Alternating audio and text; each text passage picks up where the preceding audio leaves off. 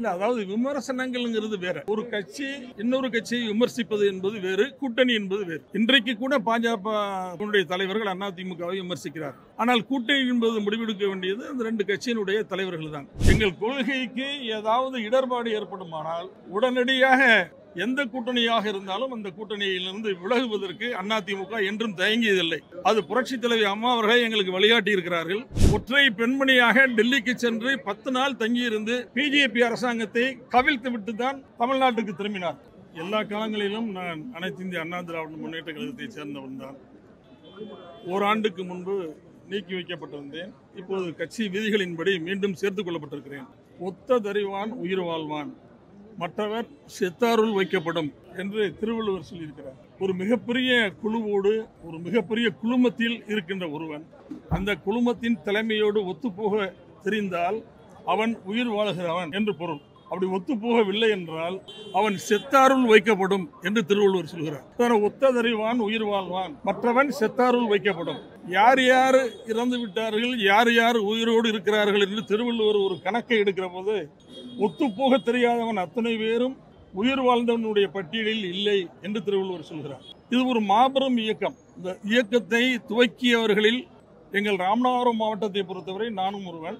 அதற்கு முன்பே நான் புரட்சி தலைவர் எம்ஜிஆர் மன்றத்தினுடைய செயலாளர். அதற்கு பிறகு புரட்சி தலைவர் எம்ஜிஆர் அவர்கள் இந்த கட்சியை துவக்கிய போது நான் ஒன்றிய கழக செயலாளர் அப்புறம் மாவட்ட செயலாளர் அமைப்பு செயலாளர் கழக சிறுபான்மையினர் நலப்பிரிவு செயலாளர். இப்படி எல்லா பதவிகளையும் புரட்சி தலைவர் எம்ஜிஆர் அவர்களும் புரட்சி தலைவி அம்மா அவர்களும் எனக்கு வழங்கினார் கழகத்தின் ஆட்சி மன்ற குழு உறுப்பினராக ஆயிரத்தி தொள்ளாயிரத்தி எண்பத்தி ஆறாம் ஆண்டு புரட்சி தலைவர் அவர்கள் என்னை நியமித்தார்கள். அதற்கு பிறகு மாண்புமிகு அம்மா அவர்களும் என்னை ஆட்சி மன்ற குழு உறுப்பினராக நியமித்தார்கள். இப்படி கழகத்தின் பல்வேறு பொறுப்புகளிலிருந்து பணியாற்றி கொண்டிருந்த எனக்கு ஒரு சிறிய சறுக்கல்.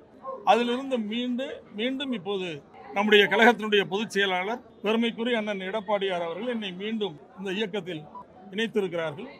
இயக்கத்தினுடைய சட்டத்திட்டங்கள் என்ன என்று எனக்கு தெரியும்.